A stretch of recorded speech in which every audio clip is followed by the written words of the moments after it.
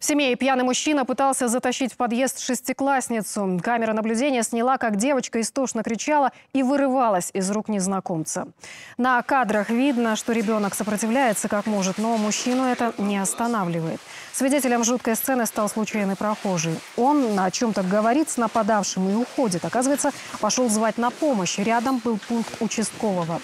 Инспектор к тому времени уже сам услышал крики и торопился помочь. Нападавшего задержали. Девочка тут же позвонила матери, которая была на работе. Она одна воспитывает четверых детей. В этот день женщина попросила 11-летнюю дочь купить хлеба в ближайшем магазине. По дороге ребенка и схватил неизвестный. Сам мужчина не смог внятно объяснить свое поведение. Экспертиза выявила у него среднюю степень опьянения. Расследование начато по статье «Попытка изнасилования». Услышал крики о помощи с улицы. Выбежав из пункта, заметил около подъезда мужчину, который насильно удерживал маленькую девочку. Видно было, что ребенок вырывается. Поняв, что ребенку угрожает опасность, я выхватил ее из рук, отодвинул за свою спину. Девочка сильно напугалась и не выпускала мою руку.